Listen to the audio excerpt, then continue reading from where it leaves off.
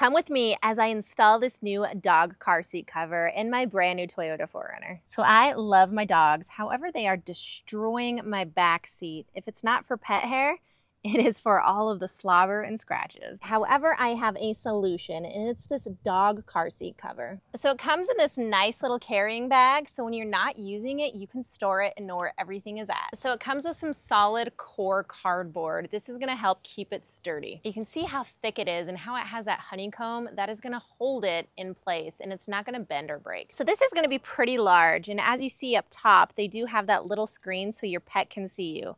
On the sides, it's going to help protect your doors and windows, and it's going to help protect the front and back of your car. The first step is going to be installing these weight-bearing panels. There are three of them, so we're just gonna unzip this and throw them in. Zip it up and you're ready to throw it in your vehicle. So once it's in here, you're just going to attach this part to the back of your seat it has a buckle with like a dog leash, so it's gonna be pretty easy to put on. These here are gonna attach to your handlebars here on your vehicle. These ones here are gonna attach on the back of the driver and passenger side. You can adjust all of the slack length if you need to. It is fully adjustable just like this, so you can customize it to your own vehicle.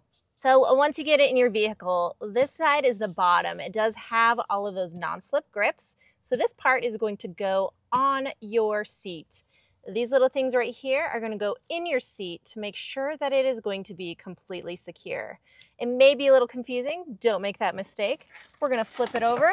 So this is the proper side that your pet is going to be on. So go ahead and adjust all these straps according to your vehicle size. Clasp it around and secure it in place. This part here, you're going to fully adjust it as well.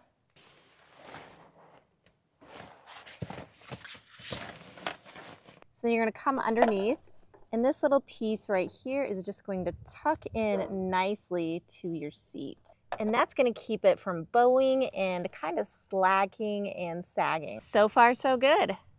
You just have to do the sides. I love these little accents here in reinforcement so they're not gonna rip or tear. This is a cute little addition where you can keep all of your pet toys as well as food and water. And that is a cute little screen so your pup can see you while you're driving. Attach the side to the handle like this and it is going to protect the side of your door and keep all that pet hair confined. If you want to fully enclose it, there are zippers here. These zippers will unzip so your pet can get out but while they are moving, it's easy to zip together. So now it is fully zipped up and ready to go. You're just gonna shut your door, and now your entire back seat is going to be enclosed and hairproof. And your dog's gonna be a lot more comfortable because they have all that extra space to move around. So if you're looking for the perfect backseat cover that is not only going to help protect your vehicle, but extend it and give them more room.